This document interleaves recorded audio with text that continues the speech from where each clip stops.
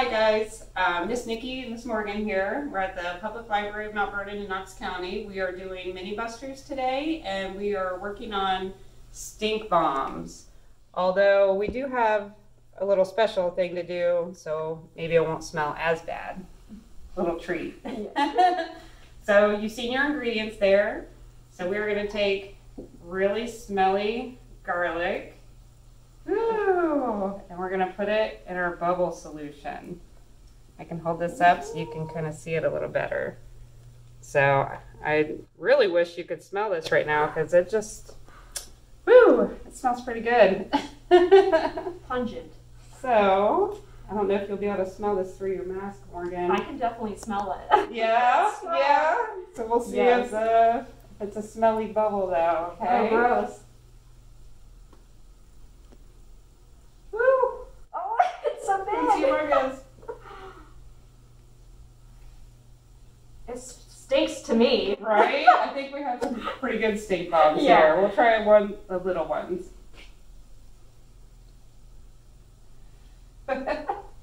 Oh yeah. That Yeah, definitely. That's pretty good steak bomb that there. reeks. All right, you want to try the? Yeah. We have some smelly good vanilla mm-hmm. here, so maybe we'll try this and see if it'll. We'll close this guy up. Yeah, that'll help. Because. Woo. Okay, no, we won't. Just kidding. Just kidding. Here. That All should right. be good. I think that looks.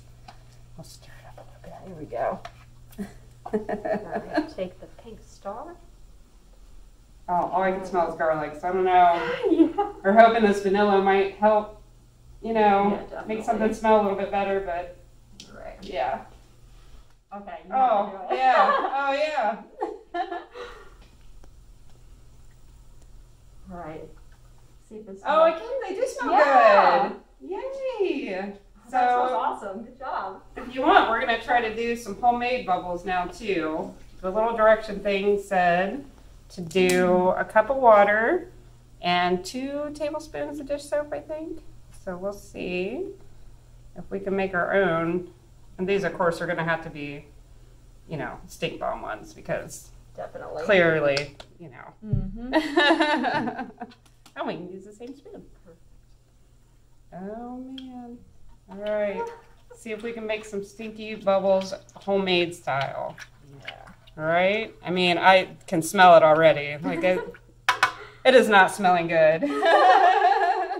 All right. now we got the, got the big boy here. Let's Oh, see if we can make some big Yeah. bubbles.